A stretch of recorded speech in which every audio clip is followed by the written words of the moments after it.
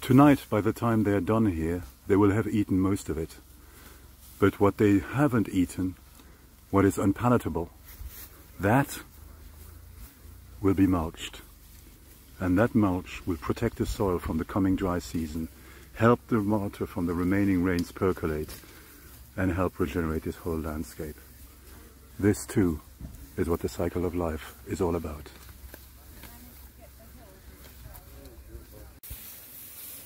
The cows are kept inside this paddock by these electrified wires which are moving every day. Right at the back there is the paddock they were in yesterday. And there the seeds are ready to germinate. The land has been manured. The mulch is down to protect the soil.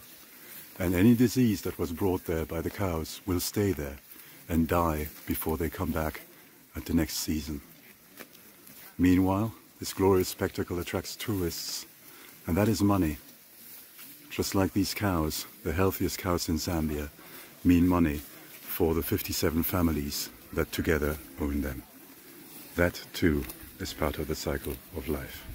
When the communal herd started here in Panchia, the land everywhere looked like this, and I am standing on a path. After five years of this kind of grazing, Look at how the grass is growing and our other plants are coming in. For the first time in 25 years, Matthias, dead herder, says he has seen kudu and zebra come back to the land, which was dead and is now reviving.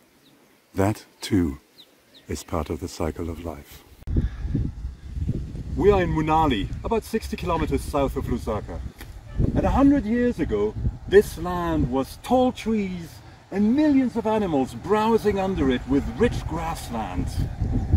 Then the trees got cut. The animals got hunted out. The trees survive still. Look at them. They're here, they're there, they're everywhere. But there are no more animals. And look at what's happening to the soil.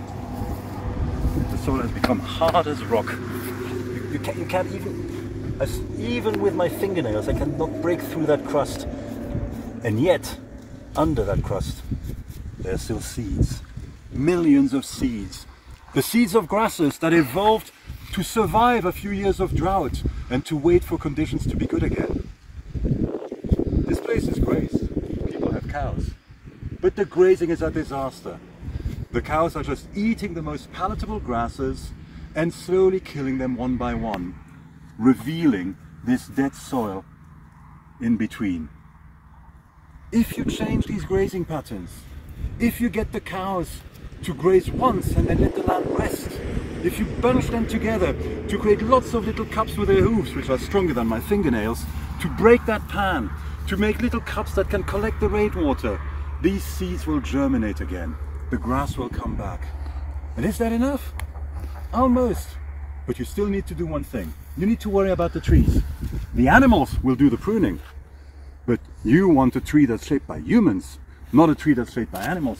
So what you want to do is you take this tree and you look at the number of children it has.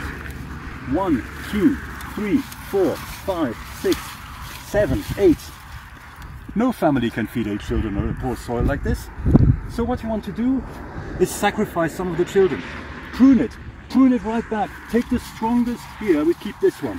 Keep this one because this one is pointing straight up and you want the tree to start growing up as quickly as possible. And you do these two things, you manage the regeneration of the trees and you manage the grazing of your cattle and our children will be able to come here and never even imagine that this place was once so degraded. That is the circle of life, man.